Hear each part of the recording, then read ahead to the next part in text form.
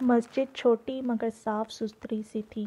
जहान मर्दों वाले हिस्से में चला गया तो वो वज़ू करके औरतों के प्रेयर हॉल में आ गई। वो जहर का वक्त था, मगर सूरज बहुत ठंडा लग रहा था। हॉल के एक कोने में एक लड़की बैठी थी। उसके सामने एक बच्ची उसी के अंदाज में बैठी धीमी आवाज़ में कुछ कह रही थी। हया गीले बाजुओं की आस्तीन नीचे करते हुए बगौर उन दोनों को देखती रही।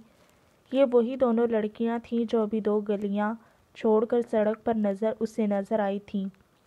जामनी फ्रॉक वाली छोटी बच्ची और दूसरी भूरे स्कार्फ वाली संजीदा सी लड़की। बच्ची मिन्नत भरे शिकायती अंदाज में उस लड़की के घुटने को झंझोड़ती कुछ कही जा रही थी। मगर वो लड़की जिसका नाम शायद आयशे गुल था, नफ़ी में सर हिलाते गोया मुसलसल उसकी तरदीद किए जा रही थी। वो दोनों बहुत धीमी आवाज़ में बातें कर रही थी। हेयर स्टॉल को चेहरे के गिर्द लपेटे हुए इन दोनों को देखे गई। उन्होंने उसे नहीं देखा था, शायद वो आपस में मशगूल थीं।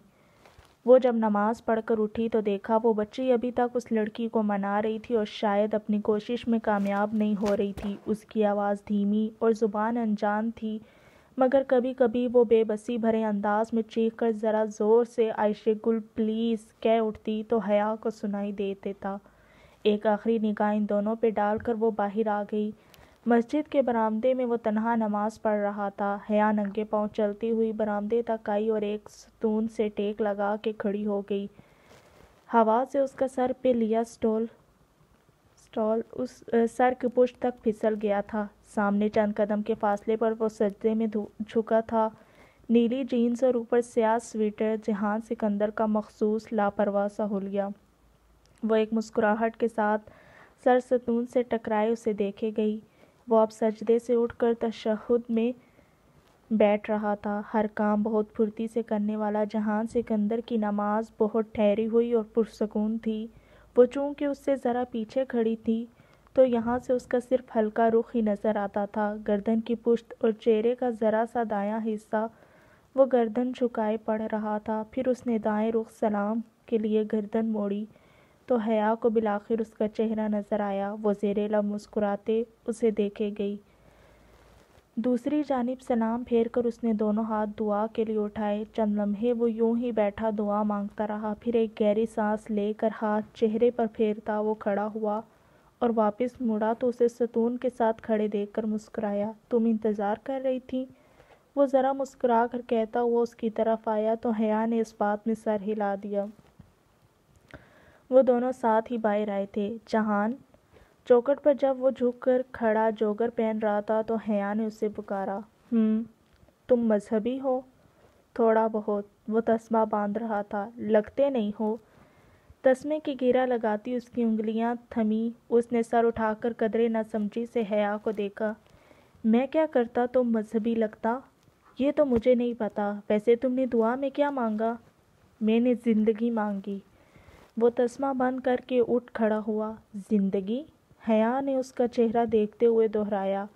वो आबादतन स्वेटर की आस्तानी अस्तीने मोड़ रहा था। इंसान वही चीज़ माँगता है जिसकी उसे कमी लगती है। सो मैं हमेशा ज़िंदगी माँगता हूँ। अगर ज़िंदगी है तो सब खूबसूरत है। नहीं है तो सब अंधेरा है। वो दोनों सड़क के किनारे साथ साथ चलने लगे थे। खूबसूरती क्या होती है जहान? बेऔकदा की सर्द हवा उसके बाल फिर से उड़ाने लगी थी। शॉल सर से फिसल कर अब गर्दन के पीछे अटक गई थी और जब अपने बिखरते बाल दोनों हाथों में समेटते हुए उसने ये सवाल पूछा था तो शदीद ख्वाहिश के बावजूद वो जानती थी कि वो खूबसूरती हया सलेमान की आँखें हैं, जैसी कोई बात नहीं कहेगा। मगर जो उसने कहा, वो हया सलमान के लिए कतन गैर मतवक़ था। अली करामत की माँ, क्या? उसने नासमझी से जहान को देखा, वो सामने देखते हुए कदम उठा रहा था। मेरे लिए खूबसूरती अली करामत की माँ पे ख़त्म हो जाती है। अली करामत मेरा एक स्कूल फेलो था। एक दफ़ा मैं उसके घर गया था, तब मैंने उसकी माँ को देखा। वो बहुत खूबसूरत खातून थी। वो डॉक्टर थी और उस वक्त हस्पताल से आई थी। वो थकी हुई थी और तब किचन में खड़ी टिशू से अपना चेहरा थपथपा रही थी। हया वो चेहरा इतना मुकद्दस, इतना खूबसूरत था कि मैं बयान नहीं कर सकता। उसकी बात पे वो चंद लम्हे के लिए खामोश सी होगी। वो तुर्क थी या पाकिस्तानी? बहुत देर बाद बोली। वो स्या फाम थी, खाली स्या फाम और हया के हलक तक में कड़वाहट खुल गई। ताहम वो लब भेंचे, खामोशी से उसके साथ कदम उठाती रही। ये वो वाहिद शख्स था जिसके सामने वो झुक जाती थी। खामोश हो जाती थी, कड़वे घूंट पी लेती थी और फिर भी मोम बन जाती थी। अगर यही बात किसी और ने कही होती तो वो अपने अजली तनतने से उसको इतनी सुनाती कि ऐसी बात करने की वो शख्स दोबारा कभी हिम्मत ना करता। हद हो गई। भला सिया फाम कहाँ इतने हसीन हो सकते हैं? या फिर शायद जहान का मतलब ये था कि उसे हया सलेमान के मुकाबले में एक बदसूरत तरीन सिया फाम औरत भी खूबसूरत लगती है। वो ज़िंदगी में पहली दफ़ा किसी बदसूरत औरत को सोचकर हसद का शिकार हुई थी, मगर चुप रही। सहपहर ढलने लगी तो वो वापसी की तैयारी करने लगे। बेवकदा जजीरे की गलियों में चल चल कर अब उसके पाँव दुखने लगे थे। डीजे वापसी पे फिर से बालकोनी में खड़े होने के लिए कति राज़ी ना थी और उसका पूरा इरादा फेरी में घुसकर चाहे प्यार से, चाहे लड़ झगड़ कर मगर बैठने के लिए नशिश ढूँढने का था। जहान को टिकट लेने में खासी देर लग गई। पाँच बजे वाली फेरी शाम की आखिरी फेरी थी। सो स्याहों का सारा हजूम टिकट घर की खिड़की के आगे मौजूद था।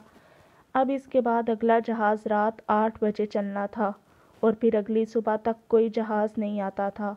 जो रह गया वो जजीरे पर रात बसर करे या तैर कर वापस जाए। अगर तुम दोनों इसी रफ्तार से चलती रही तो फेरी निकल जाएगी और तुम्हें वाकई तैर कर वापस जाना पड़ेगा। वो इन दोनों की सुस्त रबी पे खासा झंझला कर बोला था। जवाबन वो कदरे खुद से ज़रा तेज़ चलने लगी। बंदरगाह खचाखच स्याहों से भरी थी। वो तीनों इस रश में से बमुश्किल रास्ता बनाते आगे बढ़ रहे थे। जहान आगे था और वो दोनों पीछे। उसे अब अपने रेस्टोरेंट की फ़िक्र होने लगी थी। प्रॉपर्टी की मालका ने आकर फिर से कोई हंगामा किया था। जहान उसे इस सारे मामले पे कदरे परेशान, मुतासिफ लगा था। गो कि वो अपने तासुरात छुपाने की मुकम्मल कोशिश कर रहा था, मगर वो उसका हर रंग अब पहचानने लगी थी। वो तीनों फेरी की तरफ़ जाते बोर्ड की जानी बढ़ रहे थे जब किसी ने हया की कोनी को ज़रा सा छुआ। मैडम मैडम, वो ठटक कर रुकी और गर्दन मोड़ी। उसके अकब में एक बारह तेरह बरस का एक तुर्क लड़का खड़ा था, वो कोई ठेले वाला था। उसने गर्दन के गिर्द और दोनों हाथों में बहुत से हार और मोतियों की लड़ियाँ डोरियों में बाँध कर उठाई हुई थीं। और अब वो लड़कियों का एक गुच्छा हया के चेहरे के सामने करके दिखाता तरकीब दिलाने की कोशिश कर रहा था। वो कभी ना रुकती, मगर वो मोती और उनकी चमक इतनी खूबसूरत थी कि उसे ठहरना ही पड़ा। वो बेख्तियार वो लड़ियाँ उंगलियों में उठाकर उलट पुलट कर देखने लगी। वो बालों में परोने वाली लड़ियाँ थीं। और इतनी हसीन थी कि चंद लम्हे के लिए वह लंबे बालों की दीवानी लड़की इर्द गिर्द को फरामोश कर बैठी। हया हया, जहाँ दूर से उसे आवाज़ें दे रहा था। उसने सर उठाकर देखा जहान और डीजे फेरी के तख्ते पे चढ़ चुके थे और अब झंझलाहट भरी कोफ से उसे बुला रहे थे। एक मिनट मंगिश्त शहादत उठाकर उनको रोकने का इशारा करती पलट कर जल्दी जल्दी लड़ियाँ देखने लगी।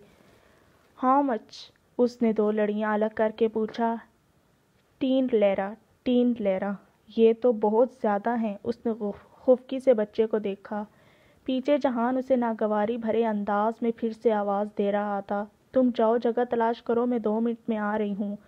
उसने उनको मुतमिन करने के लिए जाने का इशारा किया।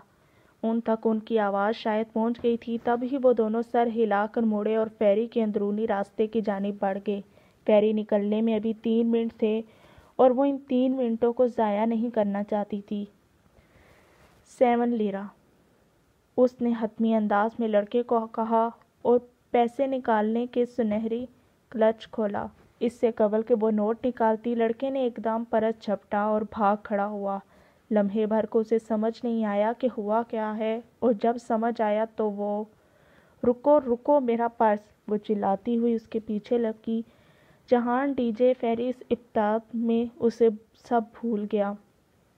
लड़का भूर्ती से भागता जा रहा था। स्या अफरा तफरी में फेरी की तरफ़ बढ़ रहे थे। किसी के पास तवज्जो करने का वक्त ना था।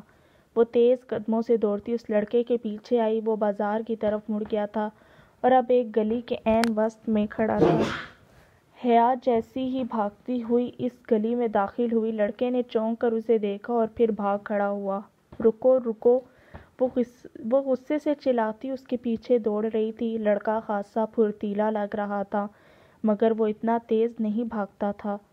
तीन गलियाँ अबूर करके वो इस रहायशी इलाके में दाखिल हुआ और सरपट दौड़ता हुआ दाएँ तरफ़ की कितार के बंगलों में से एक का गेट अबूर कर गया। वो हामती हुई इस गेट की तक आई। गेट नींव वा था। लड़का अंदर ही कहीं गया था। दूर कहीं पैरी निकल चुकी थी। डीजे और जहान जजीरे से चले गए थे और वो उधर तनहा रह गई थी। लेकिन ये वक्त वो सब सोचने का नहीं था।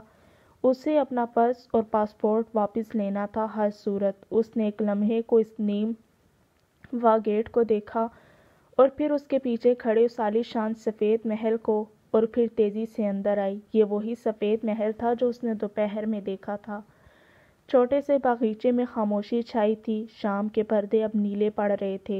वो फूलते सांस को हमवार करती मुतजबजब सी चलती बंगले के दा, दाखिली दरवाजे तक आई और बैल की तलाश में इधर उधर देखा। लकड़ी का ऊँचा मनकश दरवाज़ा कदीम तर्ज का बना था। इसके आसपास बैल नामी कोई शय ना थी। वो क्या करे? यूँ मुँह उठाकर किसी के घर में कैसे घुस जाए? मगर वो भी तो इसी घर में छुपने की नीयत से दाखिल हुआ था। उसे बहरहाल अंदर जाना था। एक मुसम्म इरादा करके उसने कंधे पर फिसलती शॉल दुरुस्त की और दरवाजे का सुनहरी नाप घुमाया। वो कदीम वक्तों की कोई अमर हुई शहजादी थी जो रास्ता भटक कर इस जजीरे पे आ निकली थी और अब सुल्तान के महल के सामने खड़ी थी। दरवाज़ा चरड़ की आवाज़ के साथ खुलता चला गया। अंदर हर सू अंधेरा था। उसने चौखट पे कदम धरा। हेलो? वो दो कदम मज़ीद आगे आई और पुकारा, उसकी आवाज़ की गूंज दरो दीवार से टकरा कर पलट आई। वो किसी लॉबी में खड़ी थी, वहाँ नीम तारीकी सी छाई थी। सिर्फ़ खुले दरवाजे से आती शाम की नीलकोन रोशनी में आगे जाती राहदारी सी नज़र आ रही थी। उसका दिल अजीब सी बेचैनी और खौफ से घिरने लगा। कोई है अब के उसने पुकारा तो आवाज़ में ज़रा इरताश था। एक कदम उसके अकब में ठा के साथ दरवाज़ा बंद हुआ और क्लिक के साथ लॉक लगने की आवाज़ आई। वो घबरा कर पलटी और दरवाजे की तरफ़ लपकी। डोर नाप तारीकी में बामुश्किल उसके हाथ लगा। उसने ज़ोर से नाप खींचा, फिर घुमाया, मगर बेसूद दरवाज़ा बाहर से बंद किया जा चुका था। Open open the door. वो दोनों हथेलियों से लकड़ी का दरवाज़ा पीटने लगी। साथ ही वो खौफजदा सी दबी दबी आवाज़ में चिल्ला भी रही थी, शहजादों के जजीरे पे खुश आमदीद। किसी ने बहुत धीरे से उसके अकब में कहा था